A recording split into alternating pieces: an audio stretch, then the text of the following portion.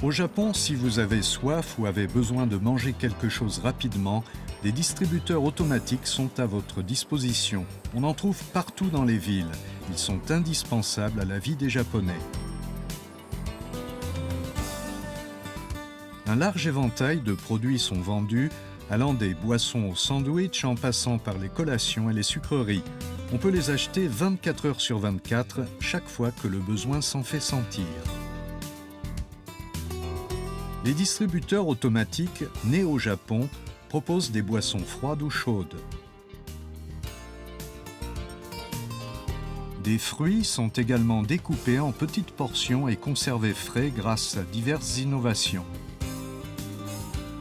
On peut utiliser de l'argent liquide, bien sûr, mais aussi de la monnaie électronique, des cartes de transport intelligentes et des smartphones. Par ailleurs, en cas de catastrophe, certains distributeurs peuvent produire de l'électricité manuellement à l'aide d'un levier et fournir des produits gratuitement.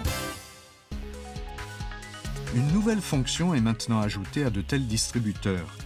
Voici un modèle de la prochaine génération qui communique avec les gens.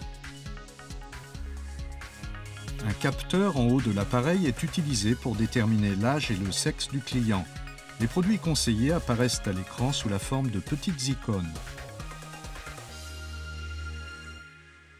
Nous avons repensé le concept de distributeur automatique sous la perspective des clients et c'est le format auquel nous sommes arrivés.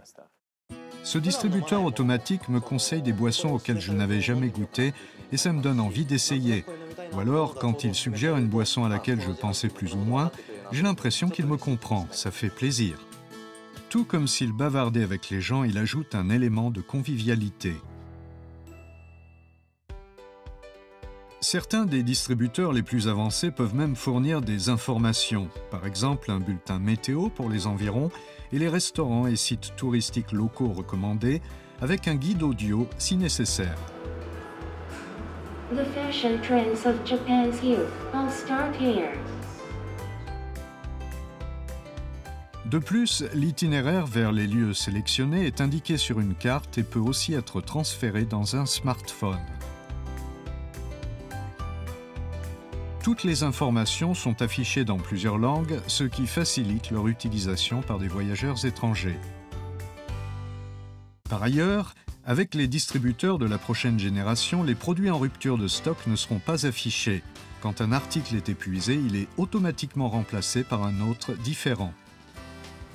Il y a aussi une fonction pour envoyer des informations sur l'inventaire au personnel chargé du réapprovisionnement.